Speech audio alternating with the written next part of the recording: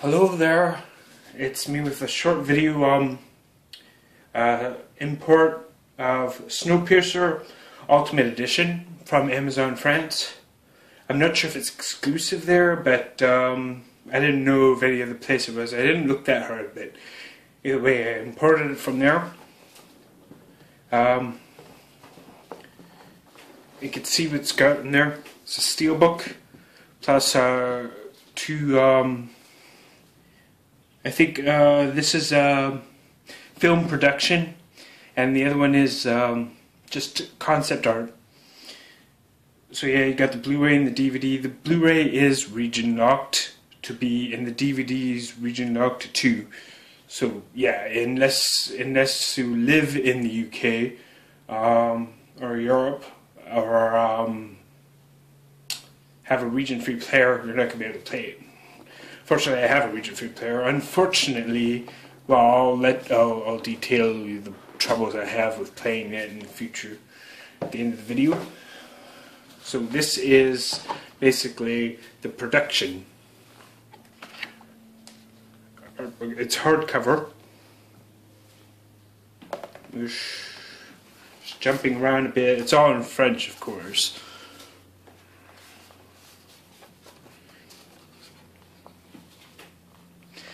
It's nice. I mean, it would be much, much better if I, you know, knew French. Unfortunately, I don't. I mean, being Canadian, I did take French for several years, but I never much took to it. So yeah, that. Now Yeah, let's get on to the concept art book. There's um preface or something like that. Oh, that's interesting. Just jumping around a bit. Get the idea of what you can get in there. It's all very dark, which I suppose you must expect, considering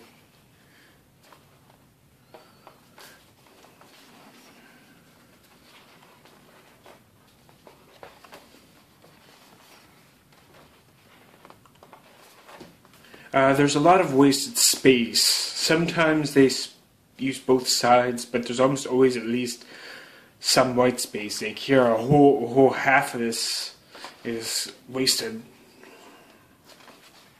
Look at this, just this tiny little thing, and there's this blank spot there. There are some that extend across the length. I'm not sure. Uh, let's see if I can find one. There. That's one big piece of art. Okay.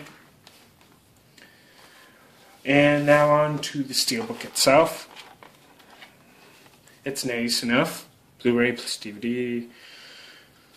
The art's decent.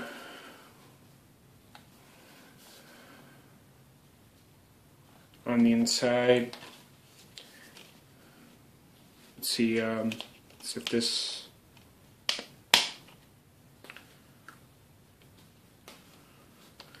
let's take this stuff out.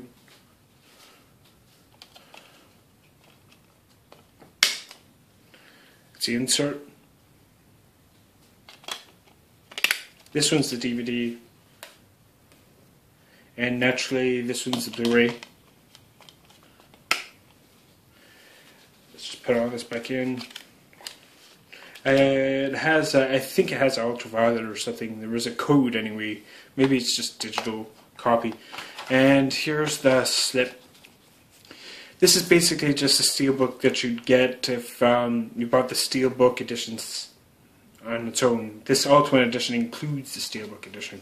So you can see here. My problem is, even though I have a region, uh, multi-region player, the trouble is there's only a couple language options. There's French with no subtitles. There's English with French subtitles, as optional French subtitles that is, but no French or English with English subtitles. Naturally, I'd prefer to play it in French with English subtitles, but either way, it's there's no English subtitles whatsoever. I I overlooked that.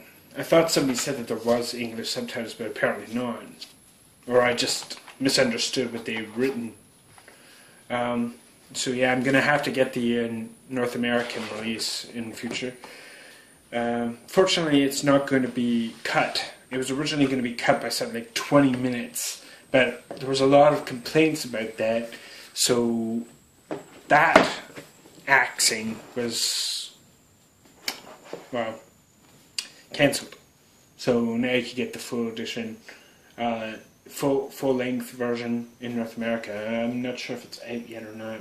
I haven't been paying attention because I was going to get this version right. Well, bye. I'll include I'll include links to the description for both the regular steelbook and the um, Ultimate Edition in the description. Get them while you can, if you're interested.